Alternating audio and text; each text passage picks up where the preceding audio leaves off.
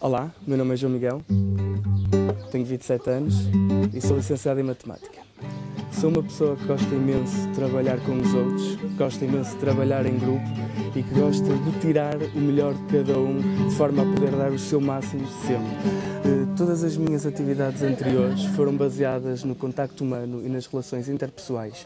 O basquete, o teatro, a música, as aulas, tudo serviu para eu poder lidar melhor com as pessoas, compreendê-las e conseguir motivá-las, incentivá-las a serem cada vez melhores e terem, darem sempre o seu melhor. Procuro sempre estudar e analisar tudo em todas as atividades que faço, mas nunca esquecendo que uma viagem de mil quilómetros começa sempre com o primeiro passo.